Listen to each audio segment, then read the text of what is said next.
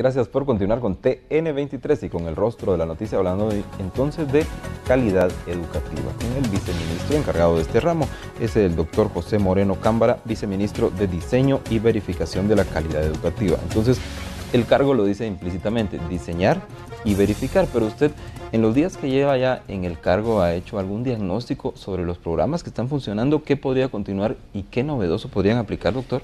Claro que sí. Mire, fíjese que a mí me sorprendió muchísimo al asumir el puesto porque es uno de los vicedespachos que tiene mayor interacción con todos los otros despachos. Por ejemplo, tenemos que ver con agricultura, tenemos que ver con ambiente, tenemos que ver con comunicación, porque como la educación es un proceso integral, eh, nosotros tenemos en calidad nexos que nos permiten llevar contenidos propicios para ciertas aptitudes, educación vial, educación ambiental, educación forestal, que nos permite una, una ventana muy amplia. Miren, los programas que están en vigencia son muy buenos y vamos a potencializarlos, pero hay que llevar muchos de ellos todavía, digamos, con vida al aula. Tenemos muy buenos contenidos, tenemos muy buenos recursos, pero nos ha costado un poquito llevarlos en vida al aula que se vuelvan un proyecto personal de los propios docentes y alumnos por el entorno. Hay algunos problemas, eh, por ejemplo, en que se han seguido manejando en cuanto a qué hay que hacer con educación bilingüe. Eso ha, digamos, permitido que el currículum nacional base no llegue en profundidad a las aulas tal y cual, porque es un muy buen currículum nacional base. Todos aquellos programas que tengamos de interacción interinstitucionales los vamos a seguir aplicando porque creemos que entre más comprometamos al resto de la gestión gubernamental en el proceso educativo y a la propia comunidad, nosotros vamos a tener una educación de mejor calidad. Eso es importante hacerlo ver. ¿Qué papel juegan los maestros, los catedráticos y cómo ustedes pueden apoyarles? El profesor es, digamos, el, canal de comunicación, el maestro es el canal de comunicación en una de las etapas del proceso enseñanza-aprendizaje, pues es el, responsable de darle vida a ese contenido de una forma muy particular y hacerlo llegar al estudiante para que él lo tome, lo, lo replique, lo modifique o lo mejore.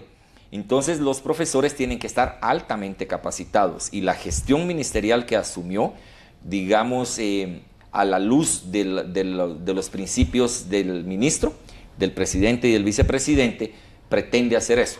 Pretende que nosotros podamos llegar al aula con docentes capacitados y eso significa la capacitación de los docentes que se están formando y la, la, formación de los docentes que se están eh, inicialmente capacitando y la capacitación de los docentes en funciones. Esas dos vías son las grandes líneas de acción del ministerio. ¿Cómo se va a llevar a cabo esto? Las capacitaciones, por ejemplo, hay programas institucionales como las PADEP que están funcionando a través de, ventanas universitarias como la Universidad de San Carlos y la formación inicial docente llamada la FID también a través de la, de la Universidad de San Carlos. Aunque el ministerio es el responsable de, la, de los contenidos y, el, y la currícula, ellos están prestando un servicio coadyuvando a la formación, porque a veces nos cuesta mucho articular esa parte. ¿Qué saben ustedes de esta primera generación de jóvenes que ya están con el nuevo currículum para maestros? Evidentemente, como todo inicio de procesos, tiene, digamos, algunas pequeñas dificultades. Eh, la mayor dificultad que hemos encontrado, pues imaginará usted, como sucede en casa, como sucede en una empresa, es la financiera. No tenemos los recursos suficientes. Eh, me parece que hay eh, falta de pago del segundo semestre del año pasado, no tenemos la capacidad para empezar este semestre y eso nos complica un poco porque los docentes que están colaborando no, también necesitan eh, comer y necesitan el salario.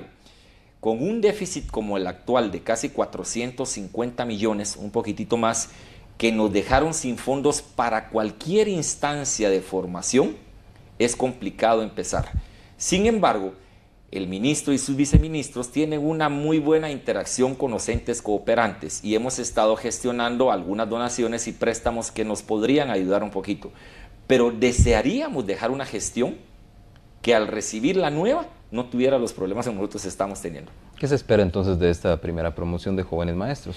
Creo que ellos van a ser los abanderados y siempre los que empiezan un proceso educativo tienen una virtud y un defecto. La virtud es que les empodera mucho ser los primeros porque son los pioneros y algunas dolencias se les perdonan por eso. Pero digamos, la complicación que tienen es que están experimentando un método que en Guatemala no se había vivido y éramos uno de los pocos países que no.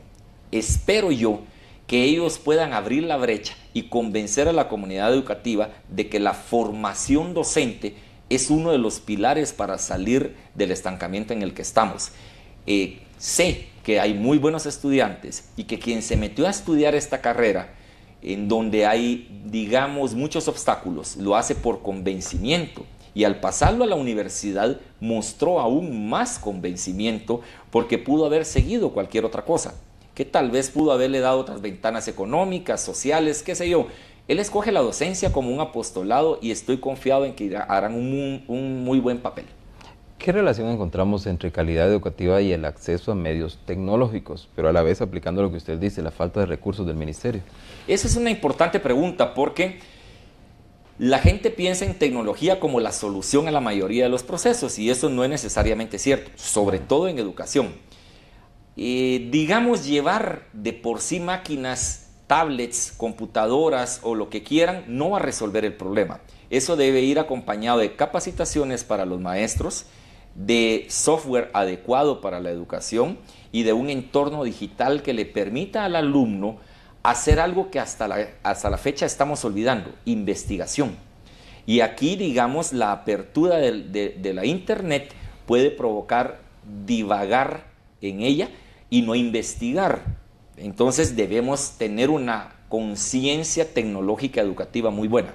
Pero la tecnología va a llegar, primero Dios, a las aulas a través de un programa que el propio presidente de la República, Jimmy Morales, ha abanderado y lo vamos a hacer en etapas que nos permitan medir los logros, las necesidades y las particularidades según la región donde lo echemos a andar. Ahora otro subtema y su relación también con calidad educativa, el de alimentación, y no me refiero solo a la refacción escolar, sino también a la alimentación general de nuestros jóvenes, de nuestros niños. Claro, esa, también es una faceta muy, digamos, importante dentro del proceso de calidad. Queremos abarcar dos vías. Una de las vías es seguir cumpliendo y mejorar los estándares de la alimentación educativa porque entendemos que un niño con hambre no puede aprender. Es decir, nosotros a la hora del almuerzo, 15 minutos antes, trabajando, nos empieza un cosquilleo en el estómago que divaga las ideas. Lo mismo le pasa a un estudiante a temprana edad y en horas de la mañana que está llegando a estudiar y tiene hambre. Entonces debemos seguir con ese programa y fortalecerlo y estamos trabajando muy de cerca con el Ministerio de Salud, con el Ministerio de Agricultura y el Ministerio de Ambiente para que nos ayuden a cerrar filas en este aspecto y que la nutrición sea sana y efectiva. Eso es, eso, eso es muy importante. Pero también tenemos en mente que los centros educativos se conviertan en difusores de una cultura alimenticia sana. Lo podemos hacer, por ejemplo, si las escuelas se enteran que hay una madre de familia que está esperando, se le puede orientar para que los nutrientes que adquiera durante el embarazo permitan un desarrollo sano del embrión y que tengamos después un niño con particularidades y capacidades en su máximo esplendor. Eso sería aprovechar las instituciones educativas para abarcar otras áreas y eso trae ahorro, trae conciencia y trae efectividad. Los programas sociales, ahora por aparte instaurados hace dos gobiernos, ¿aportaron al proceso de mejorar la educación? Nos dieron ideas de que sí hay una línea de, acción positiva, siempre y cuando estos, estos programas sociales tengan un objetivo definido y sean, digamos, temporales. Porque una parte del proceso educativo es enseñarle a las personas a sobrevivir ante un ambiente. Entonces, por eso era importante como empezamos la plática con los aprenderes. Hay que aprender a hacer y aprender a hacer. Entonces, creemos que los programas han sido de utilidad, pero deben de tener una vigencia tal que haya un compromiso de la persona que lo recibe para seguir adelante por ella misma. ¿Qué podemos esperar en cuanto a los resultados de su gestión y con qué indicadores podríamos medirlos, viceministro? Una de las principales metas es los 180 días de clase. Pero el ministro ha tenido una frase muy acertada. No bastan los 180 días. Es decir, podemos ir 180 días a qué? Queremos que sean 180 días de calidad educativa, en donde haya un proceso educativo refinado, en donde el alumno tenga el tiempo propicio para aprender. Mejorar la cobertura, pero no desde el punto de vista tradicional porque es muy caro. Un punto porcentual de cobertura anda alrededor de los 500 millones de quetzales en el concepto tradicional, pero podemos mejorarlo a través del convencimiento de estudiar y mejorar la matriculación. El promedio de estudiantes por maestro es 26, de, 26 alumnos. Tal vez subirlo a 30 para que nos dé una mayor amplitud sin gastar mucho porque no tenemos presupuesto. Queremos llevar tecnología a las aulas, pero una tecnología inteligente que no se convierta después en un estorbo o en un olvido.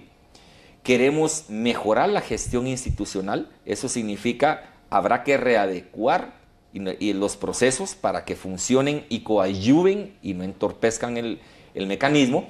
Y queremos nuevas metodologías de entrega. Cuando hablamos de esto es, hay 1.800.000 estudiantes que no están en el sistema escolar, pertenecen al subsistema eh, no escolar y eso queremos fortalecerlo con programas ingeniosos y novedosos que nos permitan captar a esta población y sacar de ello lo mejor que le puedan dar a la sociedad.